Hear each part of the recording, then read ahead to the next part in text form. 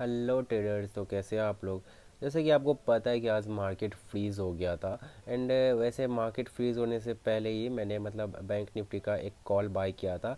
Thirty five thirty five thousand six hundred का मैंने three eighty के अराउंड मैंने कॉल बाय किया था एंड मैंने थ्री नाइन्टी के अराउंड मैंने सेल कर दिया, और सेल मैंने इसलिए कर दिया क्योंकि मार्केट फ्रीज़ हो गया था।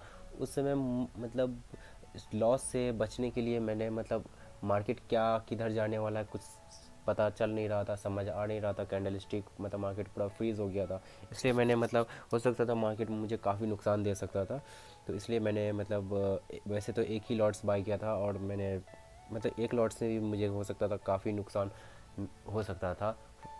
तो मैंने क्विट करना एग्ज़िट करना ज़्यादा बेटर समझा तो मैंने यहाँ पे एग्ज़िट कर लिया। एंड एग्ज़िट करने के बाद थोड़ी देर बाद यहाँ मार्केट आप देख सकते हैं वन थाउज़ेंड तक का हाइट इसने बनाया बट कोई बात नहीं।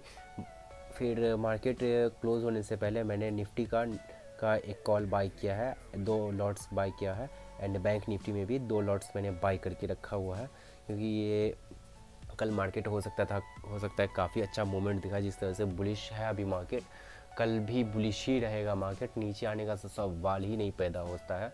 कल मार्केट काफ़ी बुलिश होने वाला है, और यहाँ पे मैंने कोई स्टॉप लॉस नहीं लगाया हुआ है, टारगेट भी मैंने नहीं लगाया वो। मार्केट जितना ऊपर कल लेके जाएगा, मैं उतना ऊपर जाऊँगा। सीधा सीधा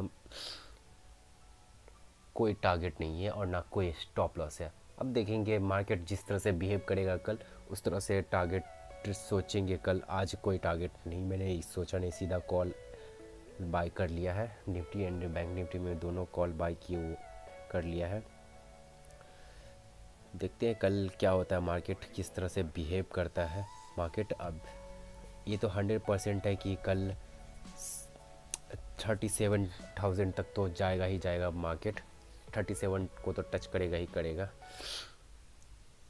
सो बाय बाय ट्रेडर्स कल मिलते हैं, देखते हैं कल क्या होता है मार्केट में।